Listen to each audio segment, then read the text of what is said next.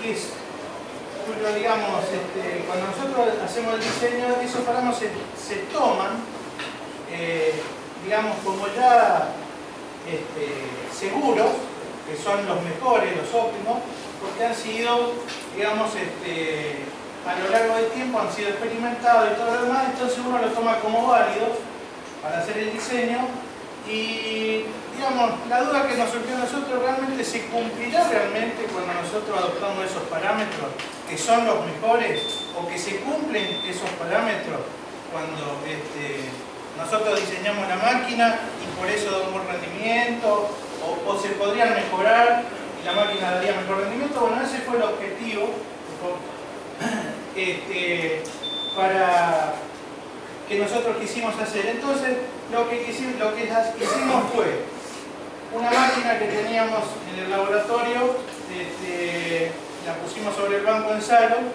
se hizo todo el ensayo de los parámetros de funcionamiento, potencia, rendimiento para distintos caudales y este, por otro lado se tomó esa máquina, se la este, parametrizó, se, se, se malló y se simuló en un código de CFD y se comprobaron los parámetros de diseño como decimos.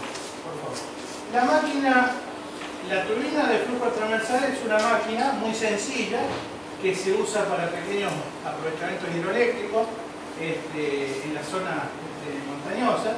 Eh, como es una máquina muy sencilla, tiene un rendimiento relativamente bajo frente a las grandes máquinas como podrían ser las de las represas que hay en la zona o, en la zona en nuestra zona.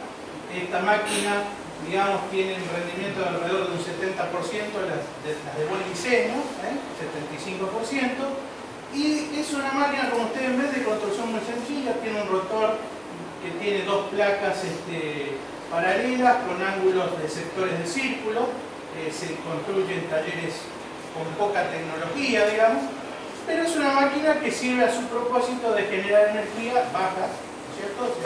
Estamos hablando de máquinas de hasta, digamos, 300, 500 kilos en los casos más generales, este, y este, es una máquina muy económica, ¿eh?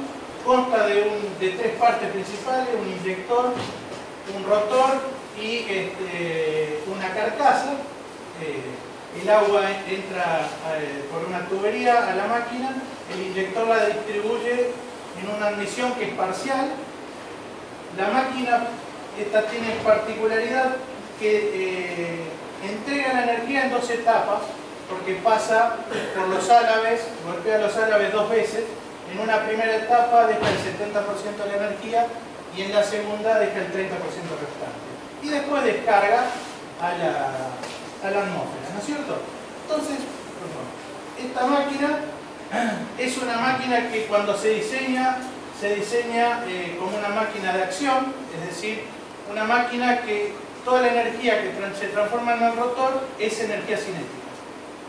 Este, esta máquina, ahí está la máquina que nosotros usamos para ensayar, una máquina de diseño propio del, laboratorio, eh, tiene 200 milímetros de diámetro, un ancho de 128, eh, perdón, un ancho del rotor de 100 milímetros, este, 25 árabes, bueno, y los parámetros eh, normales, ángulos de entrada y salida, todos esos parámetros este, son parámetros que se van adoptando, ¿no es cierto? La máquina trabaja para 13 metros de salto, 60 litros por segundo y genera 6 kilos. No tiene, eh, perdón, no tiene un ala regulador, ahí está, ahí está sobre el banco. Si ustedes se fijan, la máquina fue ensayada, conectada a un freno dinamométrico y conectada también a un generador, para ver cómo se comportaba de las dos maneras. El ensayo abajo es completa con su generador, ya lo que genera potencia eléctrica. Lo que medimos en la de arriba es potencia eléctrica. Y a la derecha, arriba, está el modelo que nosotros usamos en el programa computacional. Bueno, eh, los ensayos fueron llevados, como toda máquina hidráulica, se ensaya a altura constante. Este, se determinó el campo de funcionamiento, potencia, ya les digo, a lo largo de los distintos caudales, desde el caudal cero hasta el caudal máximo este, la máquina de ensayo se, se fija, digamos, este, un salto, se toma las presiones, la velocidad del torque y con eso se calcula la potencia. Y se grafican los resultados experimentales en gráficos como esto, ¿no? Caudal, rendimiento versus caudal, potencia versus caudal. Como ustedes ven, la curva característica de potencia es una curva característica y de rendimiento es una curva característica de una máquina hidráulica con un, máximo en el caudal nominal ¿eh? y hacia, hacia caudales parciales el rendimiento disminuye. Aquí tenemos el ensayo completo para varios saltos inclusive, desde 10 a 16 metros. Si bien la máquina se diseñó para 13 metros, fue este, para distintos saltos para ver su comportamiento. Como ven, tiene un rendimiento más o menos constante, un 75% para todos los saltos. Por favor. Y acá quiero explicar un poquito primero es el principio de diseño, ¿no es cierto? Como toda máquina hidráulica, ustedes saben, la energía disponible o que la máquina va a entregar está dada por esta ecuación que es la ecuación de Euler o de Euler,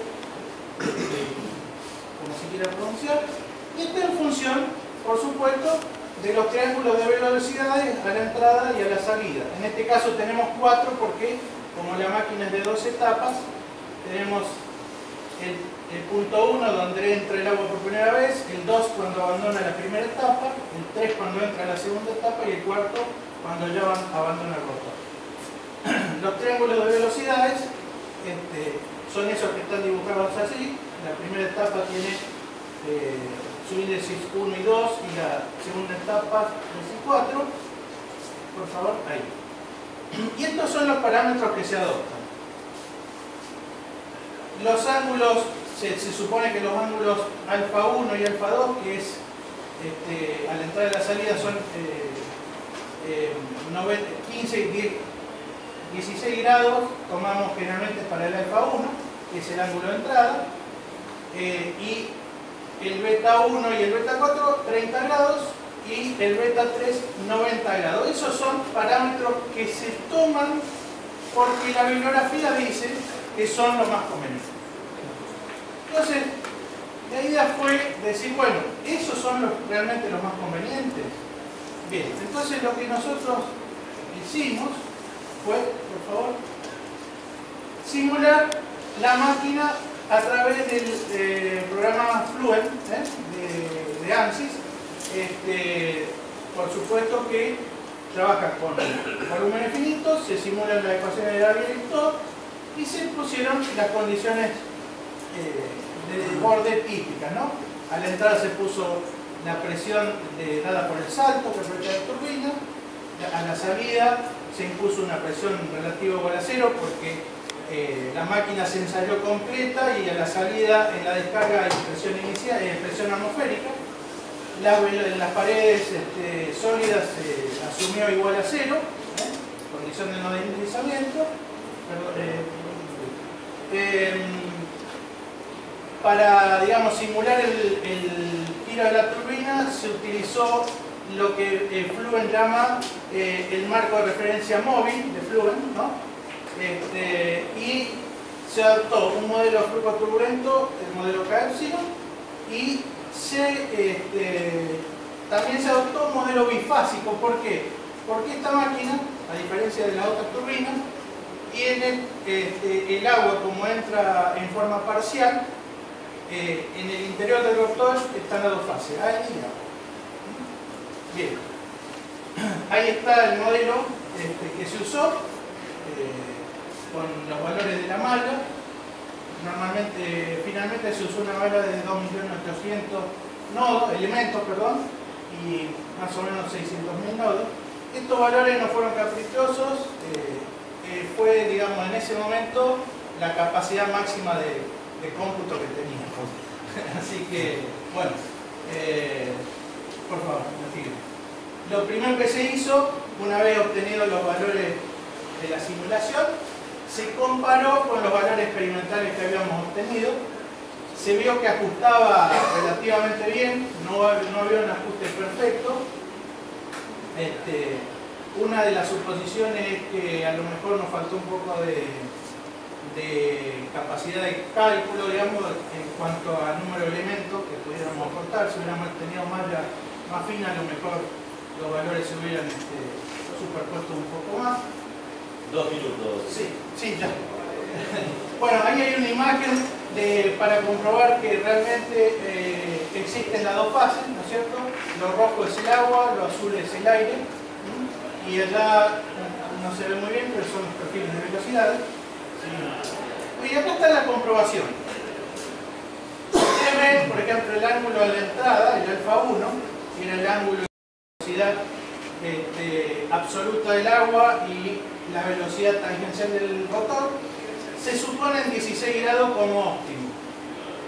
Eh, básicamente hay un comportamiento a lo largo del, del arco de que cumple más o menos con 16 grados. Los picos dan porque están, por supuesto, la presencia de los álabes que tienen un, espesor finito. ¿no? Entonces, hay picos ahí porque eh, están esos álabes. Pero más o menos el valor medio son 16 grados. Este valor más o menos se cumple. El siguiente valor que comprobamos, el ángulo a la salida de la primera etapa, ¿sí? beta 2. Eh, este prácticamente se cumple eh, completo, también se, denota la presencia de los álabes, pero el valor supuesto son 90 grados y, el valor eh, por simulación da 90 grados prácticamente. Este, digamos, lo que se hizo fue tomar todo el arco que abarca el, el chorro, digamos, cuando abandona la primera etapa. Siguiente. El siguiente ángulo beta 3, que se adoptaba igual a beta 2, o sea 90 grados, también cumple más o menos con este, una constante de 90 grados que era el valor de diseño. Y ya acá tenemos el alfa 4. Este es un ángulo, digamos, que se supone, digamos, este, se calcula eh, alrededor también de 90 grados, pero no se cumple. Este no se cumple y nosotros creemos que debido a que bueno, el chorro cuando abandona ya definitivamente el rotor sale muy desordenado, entonces este, no, no, tiene este, un recorrido muy parejo, entonces bueno, es lógico que no se cumpla esta, esta suposición. Ahí, ahí la mezcla, ya termino, ahí ya la mezcla se, de, de, agua y aire es muy grande, así que no se, no se puede cumplir.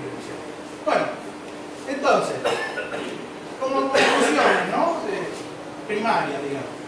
Eh, el uso de, la simulación nos permitió comprobar estos parámetros de diseño, digamos, que, este, eran siempre adoptados de forma este, a ojos cerrados y bueno, aquí hemos demostrado que evidentemente son, son buenos.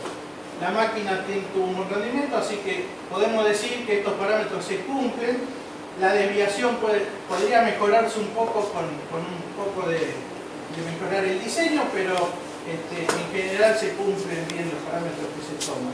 Eh, se observan varios fenómenos de choque en el rotor debido a, la presencia de los álabes que tienen un, espesor que este, provoca una desviación del flujo que no es este, constante. Hay que pensar que esta máquina se fabrica pensando lo que nosotros llamamos tecnología apropiada, ¿no? No es un diseño ajustado, se, se fabrica solamente con una máquina soldar, un torno este, y alguna maquinita más.